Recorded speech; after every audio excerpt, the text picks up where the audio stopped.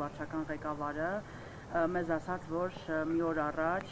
ռուսական գնդապետը, ռուսական գեներալի ներկայությամբ եւ ադրբեջանական զորքերի ասել է, որ շուրնուխ են մտել ադրբեջանցիները 1942 թվականի գլխավոր շտաբի քարտեզով։ Ինքը միաժամանակ այդ ռեպորտաժում ցույց է տալիս մի քարտեզ, որտեղ այդ նույն քարտեզում ինքը ասում է, որ այդ տարածքները ամեն դեպքում որտեղ որ եկել են ադրբեջանցիները, նախկինում եղել են մերը։ Հիմա հարցս հետեւյալն է, 100 օր անց Սյունիքի մարզպետը ի վերջո նրա համար հասկանալի է ադրբեջանցի շուրնուխ է մտել ի վերջո Նիկոլ Փաշինյանի բանավոր փոխհմբռնմամբ թե գրավոր փաստաթուղթ կա, որի հիման վրա դա տեղի ունեցել, մասնավորապես այն դեպքում, երբ որ ըստ նոյեմբերի 9-ի երակոմ հայտնի հայ համաձայնության կողմերը պետք է կանգնեին այնտեղ, որտեղ որ գրակը դադարել է։ Շնորհակալություն հարցի համար։ Նուժան իրականում այս մասին, այս կոնկրետ այս հարցով բազմաթիվ անգամներ թե ազգային ժողովից եւ թե կառավարության նիստերի ժամանակ անդրադարձ եղել է ու կարծում եմ հարցի պատասխանը բնականաբար պետք է տան սահմանազատման եւ սահմանագծման աշխատանքները ինչ վերաբերվում է հունվարի 3-ի հանդիպմանը ես դրա հաջորդող օրն եմ եղել շուրնուխում ինչի մասին նաեւ խոսել եմ վարչական ղեկավարի հետ իրականում բնականաբար ես չեմ ուզում մեկնաբանեմ թե ինչ քարտեզ է ցույց տվել ադրբեջանցի գեներալ ասցիկ թե գնդապետ էական չի, այո, դա բնականաբար որևէ հիմք ինձ համար եւ բոլորիս համար չի կարող լինել, որտեղ մասնավոր բան է տեղի ունեցել։ Ինչ վերաբերվում է ձեր ասացին, որ բանավոր թե գրավոր համաձայնությամբ այս հարցի պատասխանները նույնպես վարչապետը եւ քաղաքական թիմի ղեկավարները դրա մասին խոսել են Ամեն դեպքում կարծում եմ բոլոր հարցերի պատասխանները մենք կգտնենք դելիմիտացիայի եւ դեմարկացիայի մեջ սրանից զավել կարծում եմ մարդիկ խոսել են բազմաթիվ անգամներ սրա մասին խոսվել է եւ տրվել են պատասխաններ, հետեւաբար ես կսահմանափակվեմ այսքան։ Տեսեք, հիմա օրինակ որպես ունեցի, երբ որ հարցումներ են կանում, ամեն դեպքում չգիտեմ, դա եղել է փտո, թե եղել է ուղակի բանավոր փոխմբռնմամբ, հենց փոխմբռնում բառը ցիտում են վարչապետից ուզեմ հանրության համար տարի եւ ավելին մարդկանց համար անհասկանալի է ինչպես է ադրբեջանական զորքը մտել շուրնուղ միտունը որոտանում եւ այդպես շարունակ հիմա արձանագրենք, ինչ արձանագրենք, որ դա ոչ մեկի հայտնի չի, թե որովհետև երկու տարբեր կարծիքներ կա։ Մի անգամ հայտարարում են փոխմբռնում, մի անգամ ասում են դե գիտեք գրավոր թուղթ է եղել եւ այլն եւ այլն։ Հիմա ի վերջո եղել է գրավոր փաստաթուղթ եւ ինչ փաստաթուղթ է դա, թե եղել է պարզապես բանավոր Որքանով ես տեղյակ եմ նույն հարցին վարչապետը մի քանի անգամ անդրադարձել է, ավելին նաև երբ այցելել էր Շորնուխ, այնտեղ բնակիչների հետ այդ թեմայով զրուցել էր։ Ես հիմա չեմ կարող մեջ բերել իր խոսքերը, բայց գիտեմ, որ այդ հարցը ունեցել է հնարավոր է ինչ որ մարդկանց համար սպառիչ չի եղել, բայց տվել է պատասխանը, խնդրում եմ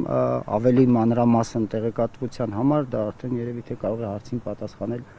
վարչապետը կամ համապատասխան կոմպետենցիայի մարդ,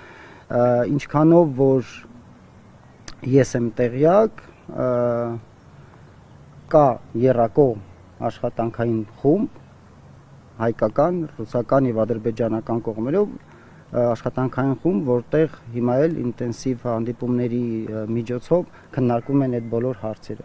առաջին իսկ տեղեկատվություն ստանալու դեպքում, ինձ հասանելի տեղեկատվության դեպքում խոստանում եմ ձեզ պատասխանել այն, ինչ որ արդեն հստակ ես տեղյակ եմ։ Շնորհակալություն։ Պարոն Մարսպետ, դուք խոսեցիք սահմանազատում, սահմանագծում, ինձ հետաքրքիր է Սյունիքի Մարսպետը տարբեր մակարդակներում, այս թվում իհարկե Նիկոլ Փաշինյանի մակարդակով, անվտանգության խորհրդի քարտուղարի մակարդակով հավաստի երաշխիքներ, որպես Սյունեցու շահերը ներկայացնող գլխավոր պաշտոնյան մարզում հավաստի երաշխիքներ ստացել կամ պահանջել եք նրանցից, որ դելիմիտացիայի եւ դեմարկացիայի դեպքում գոնե ադրբեջանական զորքը առնվազն Սյունիքի սուվերեն տարածքից կհեռանա, ել չեմ խոսում նեղ Փալասար կոչվող բարձունքների մասին, ներքին հանեցավն էլ չխոսենք տեղ ամբողջ համայնքի մասին։ Այսինքն ինձ հետաքրքիր է եւ հանրությանը դուք որպես Սյունիքի շահերը ներկայացնող գլխավոր պաշտոնյա ստացել եք այդ քննարկումների մակարդակով զրույցների, որ այո անպայման սահմանագծման եւ սահմանազատման դեպքում 100%-անոց հենց ասեմ ադրբեջանական զորքը հետ կքաշվի։ ես վստահ եմ, որ ձեր կողմից նշված սուվերեն տարածքից, որ ասում եք, այդ տարածքից հետ պետք է քաշվեն դելիմիտացիայի եւ դեմարկացիայի արդյունքում եւ միանշանակ այո, այն տարածքը, որը որ մեր սուվերեն տարածքն է,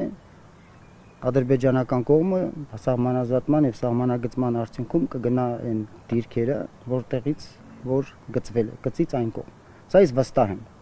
եւ չեմ կարծում, որ այստեղ երկու կարծիք կարող է լինել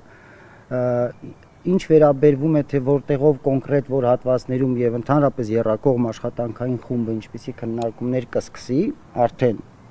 դե ֆակտո երբ որ կոնկրետ տարածքների վերաբերյալ կլինեն աշխատանքներ կարծում եմ համապատասխան աշխատանքային խումբներ հայտարարություններով հանդես կգա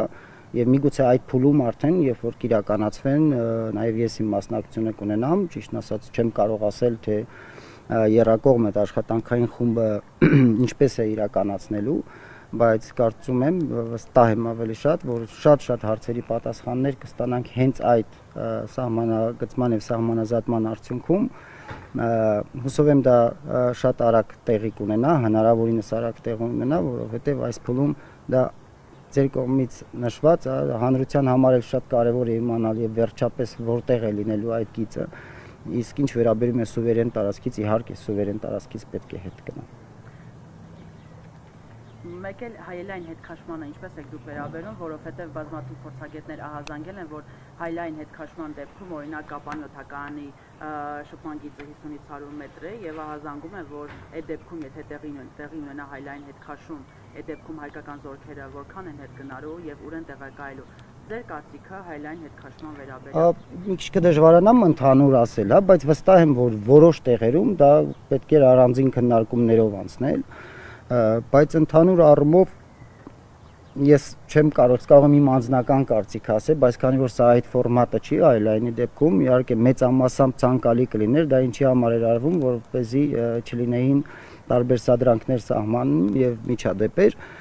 բայց բնականաբար ինչ որ հատվածներում դա ուղղակի անհնար էր ֆիզիկապես իրականացնել, բայց այդ ուղղությամբ դա արդեն առանձին, հա, պետք է քննարկում անցկացնել բայց ես այդ մասնագետը չեմ եւ բնականաբար այդքան խորը չէի կարող ուսումնասիրել թե ինչքանով ճիշտ կամ սխալ կլինի հայլային հետ քաշումը զորքերի ամեն դեպքում ես կարծում եմ այս պայի դրությամբ շատ կարևոր է որ เป զի